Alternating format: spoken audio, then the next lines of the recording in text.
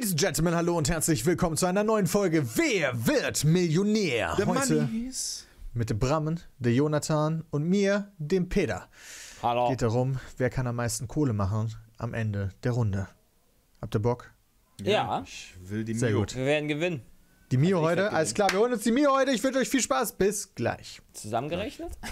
Ja, zusammengerechnet holen wir 1500. Wer sein Geld mit dem Handel von Brettern, Balken und Latten verdient, der tr- äh, macht mit Heizöl, Treibstoff, Erdgas, Holz, Kohle. Der macht mit Holz Kohle, würde ich sagen. Nehmen wir. Richtig. Geil. Es ist die Holzkohle, also der macht mit Holz Kohle. Was aktuell sehr schwierig ist, denn äh, Holz ist ausverkauft. Einfach überall. Holz ist äh, aktuell ein Rohstoff. Ist Holz ein Rohstoff? Ja, in Strategiespielen ist Holz ein Rohstoff. Also irgendwie scheint die Welt vercheckt haben, wenn die Welt ein Strategiespiel wäre, genug äh, Holzabholzungsdinger zu bauen. Wie lässt sich die Person beschreiben, die dem Töpfer das Arbeitsmaterial reicht? Bestimmend, autoritär, tonangebend oder dominant? Schöne Fragen. Autoritär, dominant, tonangebend. Okay. Es ist doch der Dominant, oder? Nein, es ist tonangebend. Aber cool, dass Domi hier einen kleinen Gastauftritt hat. Viele Leuchtstäbe leuchten, wurden sie vorher traurig, geknickt, enttäuscht oder melancholisch? Knicklichter, die sind cool. Die wurden geknickt. B geknickt, C enttäuscht oder D melancholisch. Alter. Das ist nicht mal mehr ein gutes Wortspiel. Das ist jetzt schon, ich würde sagen, bemüht. Aber die Antwort ist trotzdem geknickt. Die einen sprechen von Arrest oder Gewahrsam, die anderen sagen Haft, großartig, erstklassig oder überragend. Sagen Haft. Die anderen sagen Haft. Großartig. Oh mein Gott. Okay. Jetzt habe ich es verstanden. Die anderen sagenhaft, großartig, erstklassig oder überragend. Die anderen sagen Haft. Worin finden sich die Bauerfeind, die Müller-Hohenstein und die Göring-Eckert buchstäblich wieder? Bier saufen, Wodka trinken, Wein schlürfen, kurze Kippen. Bier saufen, Wodka trinken, Wein schlürfen, kurze Kippen. Oder D. Kurze Kippen.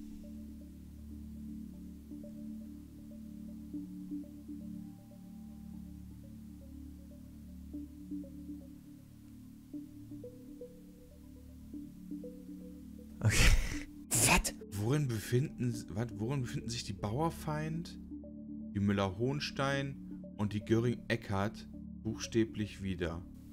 Ich sitze gerade vor dieser Frage und mein Gehirn rattert und ich bin gerade am überlegen, was ich hier verchecke. Göring-Eckert, ist das nicht die von den Grünen? Und Müller-Hohenstein, ist das nicht die ZDF-Sportreporterin? Keine Ahnung, wer Bauerfeind ist. Wohin, worin befinden sich die Bauerfeind, die Müller-Hohenstein und die Göring-Eckert buchstäblich wieder? Buchstäblich. Müller-Hohenstein. Bauerfeind, Gör. Ich habe keine Ahnung. Irgendwas verchecke ich hier gerade richtig übel und ich weiß nicht was. Bier saufen? Wodka trinken? Wein schlürfen? Kurze Kippen.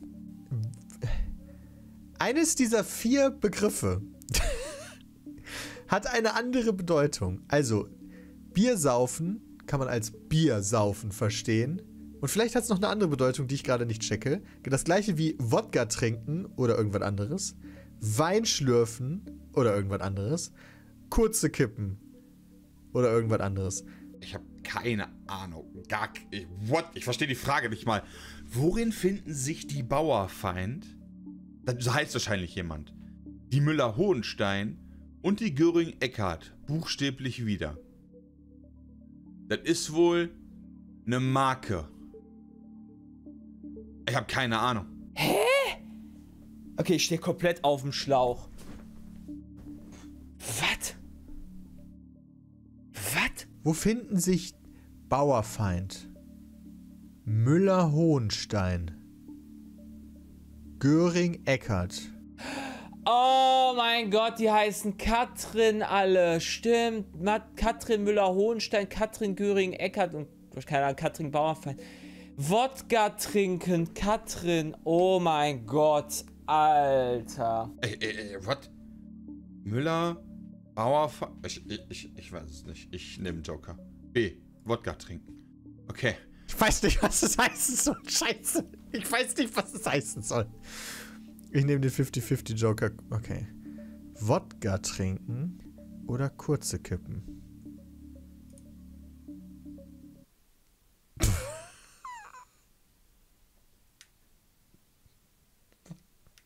Wieso Wodka trinken? Ich verstehe es nicht. Das kann doch jetzt nicht wahr sein. Worum geht es meistens, wenn man von Verdunklungsgefahr die Rede ist? Kinoseele, Himmelskörper, einen Tatverdächtigen oder auf, ein aufziehendes Gewitter? Scheiße, was war denn nochmal Verdunklungsgefahr? Ich meine, es geht um einen, Tat, äh, einen Tatverdächtigen, wenn der ähm, quasi seine, seine, seine Beweise vernichtet. Deswegen nehme ich den. Worum geht es meistens, wenn man, wenn von Verdunklungsgefahr die Rede ist? Was? Aber es ist ein Tatverdächtiger. Ja, willkommen bei Pete's Beats oder Jay blamiert sich. Yay, das war ja eine tolle Runde, Mensch. Dabei handelt es sich in der Rechtssprache um den dringenden Verdacht, dass eine zurzeit noch nicht inhaftierte Person Beweismittel vernichtet, äh, vernichten, ändern oder Zeugen und Mitbeschuldigte beeinflussen könnte. Uh.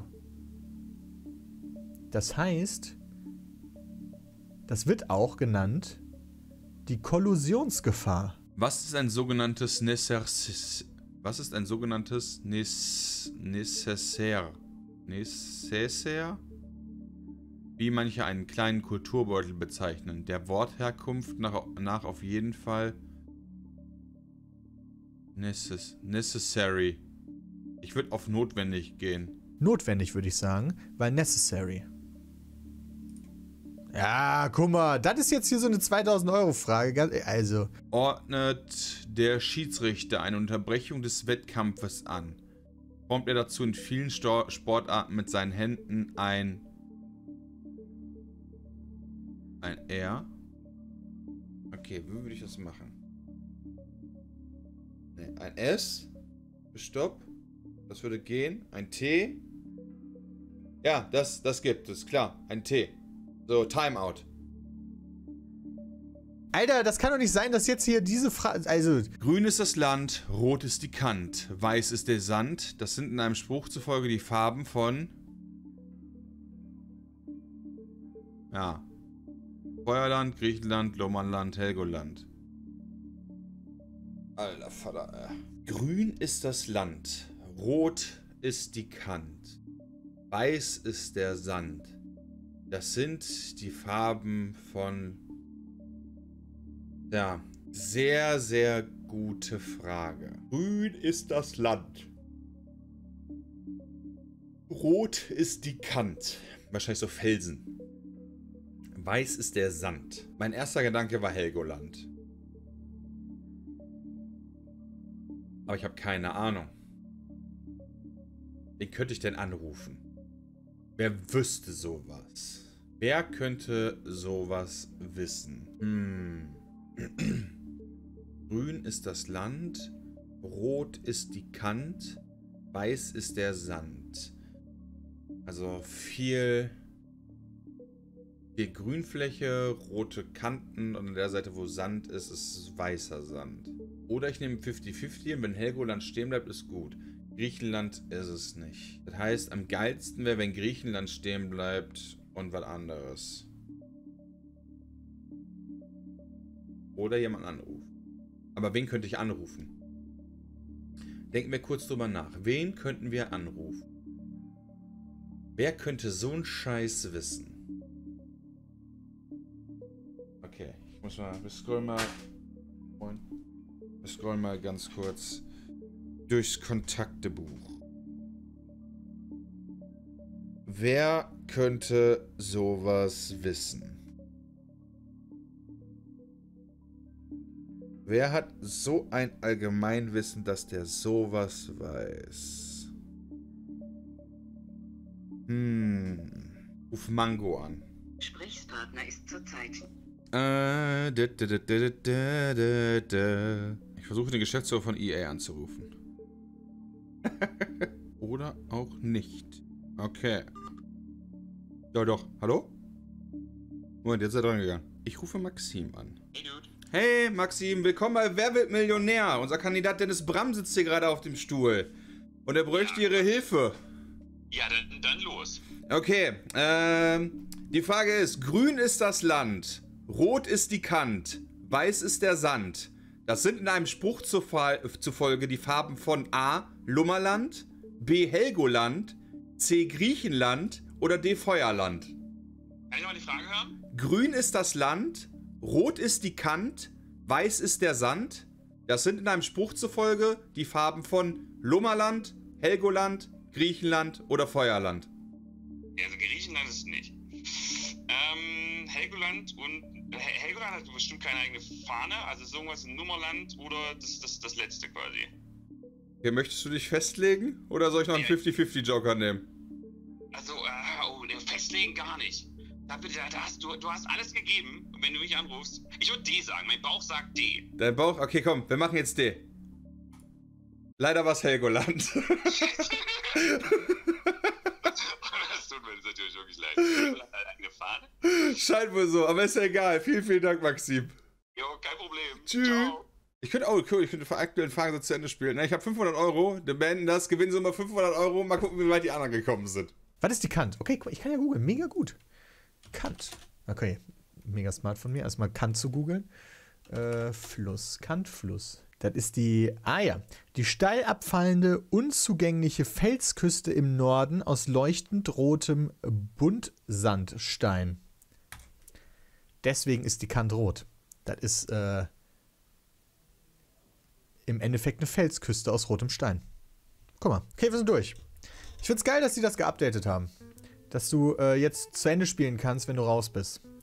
Ja, das ist äh, cool für alle Leute, die da tagtäglich Oh, lol, da habe ich vielleicht da habe ich gar nicht drauf geachtet. Ich war so enttäuscht, nachdem Okay. ich mich ausgeklickt habe, dass ich gar nicht weitergespielt habe. Ich habe auch nicht weitergespielt.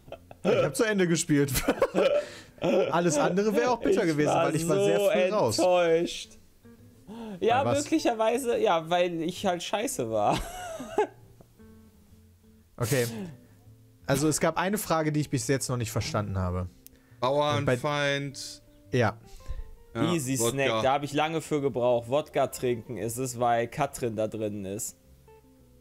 Und Das verstehe ich ist immer Katrin noch nicht. Müller-Hohenstein und Katrin Göring-Eckert und Katrin Bauerfeind. Das sind äh, Personen. Und buchstäblich ist in Wodka trinken Katrin drin.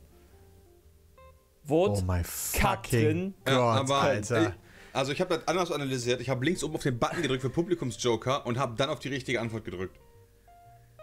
Hab ich- Alter. Da habe ich lange für dran gesessen an dem Wodka trinken, muss ich auch sagen. Das war wirklich eine schwierige Frage.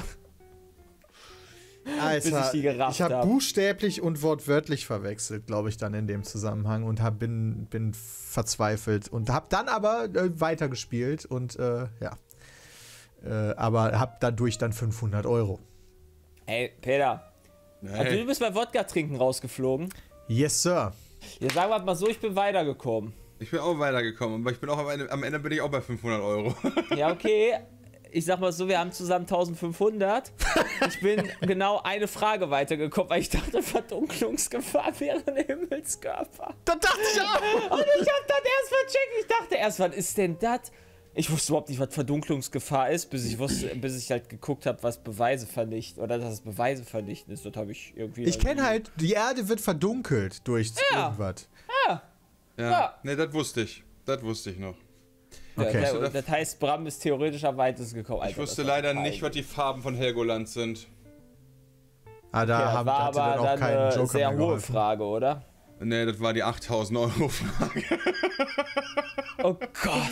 Die ging los mit äh, irgendwie grün ist das Land, rot ist die Kant, nach welcher Farbe, ne, äh, weiß ist der Sand, welche, das sind die Farben von, und da stand da Lummerland, Helgoland, Griechenland und Feuerland und ich habe Maxim angerufen und Maxim dachte Feuerland, das war leider falsch, das war leider Helgoland.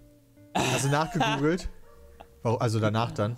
Nee, ich hab das nicht. Ich schon, ich kann es dir nämlich jetzt erklären, weil ich dachte, rot ist die Kante. Was soll das heißen? Das sind Ist halt Berge irgendwie am ein Rand.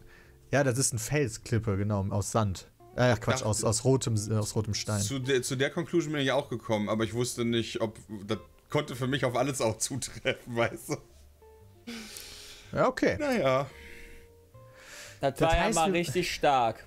Ja, aber die Leute haben ganz viel gelernt, weil ich dann jede Frage noch äh, gegoogelt habe, um die Erklärung rauszufinden, bis zur Millionenfrage. Nice. Aber Nice. die dann nicht. Äh, Sehr gut, Peter. Da hast du einen guten Job gemacht. das heißt, ihr wisst jetzt sehr viel mehr als vorher, liebe Zuschauerinnen und Zuschauer, und konntet über uns lachen, seid jetzt klüger und ich hoffe, das hat euch gefallen. Vielen lieben Dank, dass ihr heute dabei wart. Bis zum nächsten Mal. Haut rein. Tschüss. Tschö.